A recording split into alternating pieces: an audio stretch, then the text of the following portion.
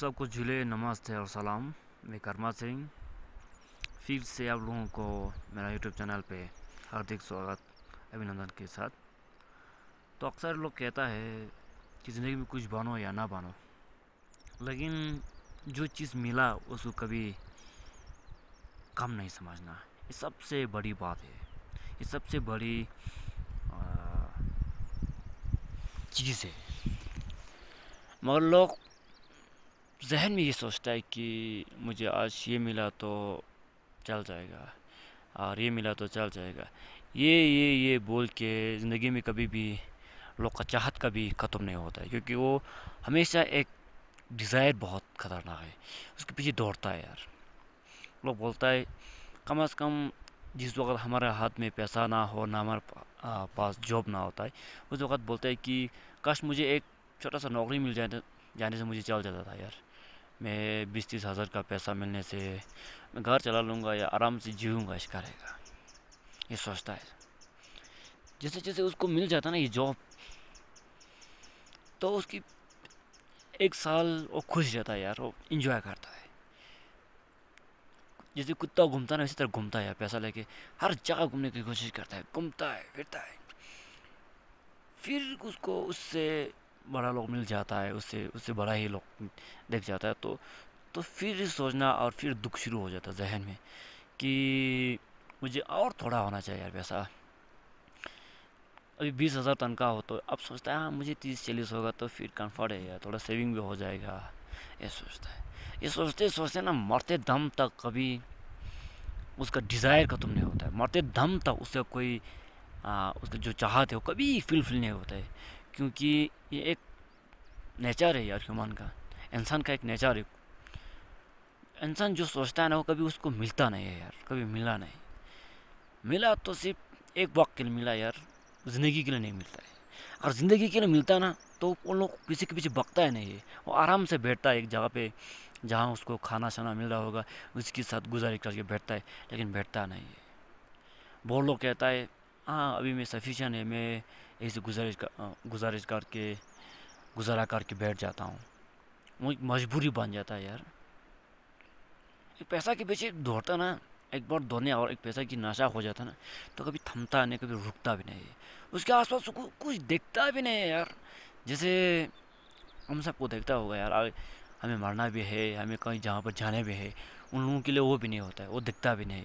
क्योंकि उसके मान में एक चीज़ चलता है, सिर्फ़ पैसा है तो दुनिया है और दुनिया से जीतना और दुनिया में इस दुनिया में धरती में रहना है तो पैसा कमाना करना पड़ेगा, सोचता है। वो सोचता है पैसा से सब कुछ मिल जाएगा यार, कुछ मिलता है नहीं। है सिर्फ़ दुनिया में एक चीज़ की सबको तलाश है। और सब लोग एक सोचता है, एक एक चीज़ की तलाश है वो ही पैसा ही सोचता है। इसलिए पैसा के पीछे भगता है, बहुत भगता है। पगल की तरफ़ भगता है। मगर असलियत ज़िंदगी में क्या चाहिए पता है? ज़िंदगी में सबसे कम लोगों को मिलता है वो है इज़्ज़त जो शहरत से मिलता है ना इज़्ज़त उसको बोलता है हम इज़्ज़त नहीं बोलता यार। उसके पैसा के दम से, उसके पैसा के पावर की वजह से उसको इज़्ज़त कर रहे ना, उसको हम रेस्पेक्ट नहीं बोल सकते। उसको हम एक बोल बोलेगा, एक डिक्टोरशिप उसके नीचे रह के हम उसको इज़्ज़त दे रहा था इज़्ज़त वाला वो होता है यार, जो सबके दिल में बसता है यार। बेशक वो अमीर हो, गरीब हो या अपर कास्ट का हो या लोअर कास्ट का हो, किसी का कास्ट का हो, कभी मायना नहीं रहता है। जिसके जिसके नाम सुनते सब खुश हो जाता है। जैसे हमारा धर्म गुरु है यार, बहुत लोग का नाम, दलील अहमद जी का नाम सुनते सबके दिल खुश हो जाता है। या छोटे आदमी हो या बड़े आदमी हो, या बुद्धिस्ट हो या मुस्लिम हो या क्रिश्चियन हो या हिंदू हो, दलील अहमद जी का नाम एक बार लेने से सब खुश हो जाता है यार। ऐसा होना चाहिए। उसको बोलते हैं रेस्पेक्ट इस चीज़ को बोलते हैं रेस्पेक्ट जो आपके पास कुछ हो या ना हो, लेकिन कुछ फ़र्क नहीं पड़ता है। फिर सबके दिल में एक जगह बना के चला। जगह बना लेता है यार। उससे खुशी मिलता है ना, वो कहीं से नहीं मिलता है। उसको बोलते हैं रेस्पेक्ट बोलता है यार। मगर आजकल के लोग यही सोचता है कि पैसा ही है, पैसा है या सोच के। पैसा के पीछे दौड़ता है दौड़ता है दौड़ता है दौड़ता है दौड़ता है। अभी हत्ता दौड़ना भी चाहिए यार, ज़माना कहाँ रह जाएगा?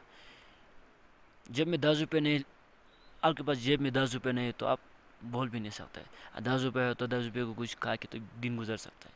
लेकिन इसका मतलब ये नहीं है कि पैसा ये सब कुछ है, ये हो ही नहीं सकता है। ज़िंदगी में बहुत चीज़ें हैं यार, बिना पैसा से आप पा सकते हैं और ले सकता है। आपका इज़्ज़त है यार, बिना पैसे से आप ले सकते हैं। वो जिसमें नेक और सच्चाई के साथ ले सकते हैं। मैं ये कहने के लिए आ रहा हूँ, ये कहने के लिए जा रहा है और ये कहने के लिए मैं ये वीडियो बना के आप लोगों को भेजा है। जो ट्रांजेक्शन पीरियड हम बोलते हैं ना, वो यही है। एक नौजवान पे टाइम पे आता है ट्रांजेक्शन पीरियड जो इक्कीस साल से तीस, पैंतीस साल तक या पच्चीस साल से पैंतीस साल के बीच में एक ट्रांजेक्शन पीरियड आता है जिसके जिसके अंदर उसको शादी करना है, घर करना है जॉब करना है, पैसा कमाया करना है, वो सब आता है यार। उस चक्कर में बहुत लोग अपने जान खो के बैठ जाता है। सुसाइड कर जाता है क्योंकि वो सोचता है कि यार मैं इस चीज़ से सहमत नहीं बोल के वो सुसाइड कर लेता है। मेरा बहुत पैसा काम है सोच के वो अपनी उनसे झगड़ा शुरू हो जाता है यार। अपने बहन से भाई बहन माता पिता से झगड़ा शुरू हो जाता है यार। कोई यही चीज़ की चक्कर की वजह से। मैं बोलता हूँ यार थोड़ा सबर करो इंतज़ार करो। जो आपके मन पे है ना जो आपके आइडिया होगा जो आपके आ, सोच में होगा उसको एक बार इम्प्लीमेंट तो करके देखा ना क्या पता उससे आप बिलियन बन जाएगा मिलियन बन जाएगा, करोड़पति बन जाएगा। ये कोई बोल नहीं सकता यार। लोग बोलता है, हम हमेशा एक बोलता है स्टीव जॉब्स के बारे में बात करता है। वो कहाँ से कहाँ पहुँचा, आप सबको जर्नी पता है। जय बजूज के बारे में आने, हम हम सबको मालूम है। वो कहाँ से कहाँ पहुँचा यार? उन लोगों के देख। जेग माँ के बारे में देखो। कहाँ से आके कहाँ पहुँचा? पहला हम हमारा तरह था यार वो लोग भी कोई ऊपर से निकला हुआ एक पैदाइश से एक सुपरस्टार नहीं था यार। आ, हमारा जैसा था यार वो भी छोटा था नादान था उसने भी सोचा स्ट्रगल किया लाइफ में मारू ने स्ट्रगल किया और हार्ड वर्क किया उस और दिमाग लगाया। हम क्या करते? हम जहन में सोचता है, यार, ये करेगा, वो करेगा, लेकिन इम्प्लीमेंट नहीं करता है। बोलता है, यार, ये नहीं होगा, यार। फिर अगर आप चलो एक दुकान खोलना तो आप बोलेगा, यार म्यूनिसिपल कमेटी के पास जाना पड़ेगा इंडस्ट्रियल के पास जाना पड़ेगा, वहाँ कागज़ बनाना पड़ेगा। अब तो बनाना तो पड़ेगा ना, आपको कुछ करना है तो कुछ। आपकी बॉडी तो हरकत करना पड़ेगा ना। बिना हरकत किए अब घर बैठे बैठे आपके पास तो ये तो नहीं है मिस्टर जी आपका ये इंडस्ट्री का ये फॉर्म है, ये लेसन है, ये एमसी को परमिशन है ये तो नहीं बोलेगा ना। आप खुद जाना पड़ेगा यार। मेहनत करो यार, मेहनत करो। मिल जाएगा पैसा, लेकिन ये नहीं सोचना।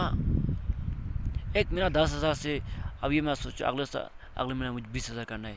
ये नहीं सोचना। इस साल दस हज़ार का कमाई हो रहा है, अब किस काम की वजह से हो रहा है? तो इस काम को और बेहतर करेगा, इस और अच्छा करेगा, फिर आपका कमाई में बढ़ जाएगा। लेकिन ये एक्सप्रेशन नहीं बनना, कभी नहीं बढ़ेगा, आपका पैसा का एक्सप्रेशन आप बोलेगा, मुझे एक साल में एक दो दो तीन कम अज़ कम करोड़ कमाई करना है, बोलेगा तो ये कभी हो ही नहीं सकता इम्पॉसिबल है। क्योंकि आप इन परफेक्ट है ना, आप परफेक्ट बनना पड़ेगा पहले, उस चीज़ में आपको एक्सपर्ट होना पड़ेगा। ये टाइम लगेगा यार, बहुत सबर करो यार।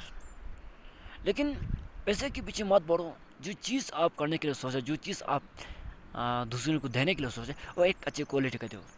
यहाँ तो लोग बोलेगा, उसको उस चीज़ को खरीदो यार, वो क्वालिटी अच्छा है। तो पैसा की अहमियत नहीं पूछेगा यार, वो कंपनी अच्छा है बोलेगा। उसका काम अच्छा करे बोल के आपको पूछेगा। उसका रेट नहीं पूछेगा। अगर एग्जांपल देता है, अब इलेक्ट्रिशियन हो या प्लम्बर हो या कारपेंटर हो या मिस्त्री हो या सफ़ाई वाला हो, या बिजनेसमैन हो यार आपके पास फैक्ट्री होगा बहुत सारे। आपके वहाँ पर थर्ड क्लास का काम कर रहा होगा थर्ड क्लास का प्रोडक्ट निकल रहा होगा तो आपके दस रुपये का, दस रुपये का माल भी दस रुपये को नहीं बिकेगा। वो बोलेगा, यार, दस रुपये का माल है ही नहीं, इसमें प्रोडक्ट का दाम है नहीं बोलेगा।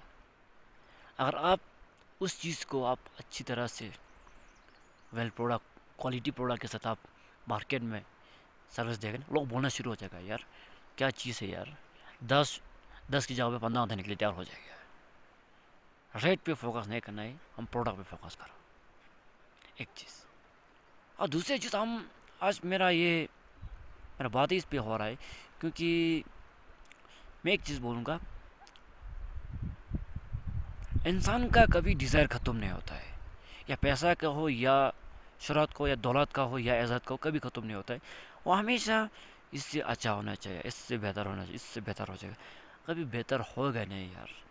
क्योंकि आपके मन में एक चीज़ के पीछे दौड़ है क्योंकि आप बेहतर कर, बेहतर इससे अच्छा मिलना चाहिए, मुझे इसके अच्छा मिलना चाहिए तो नहीं मिलेगा। अगर एक बोलेगा ना, इस इस चीज़ को मैं इससे अच्छा बनूँगा तो आपको इनकम आएगा, और इस चीज़ को मैं इससे अच्छा बनूँगा तो इनकम आएगा। तो कहने का मतलब है, जो भी हूँ, आप सबर करो, इंतज़ार करो यार, कोई जल्दबाजी मत करो।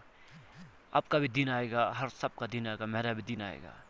लेकिन जो चीज़ आप करने के लिए सोच रहे ना, उसके बारे में आप अभी से रिसर्च करो, ढूंढो, पढ़ो, लिखो, देखो एक्सपेरिमेंट करो, तभी मिलेगा। लेकिन पैसे के पीछे धोने की मत सोचो यार।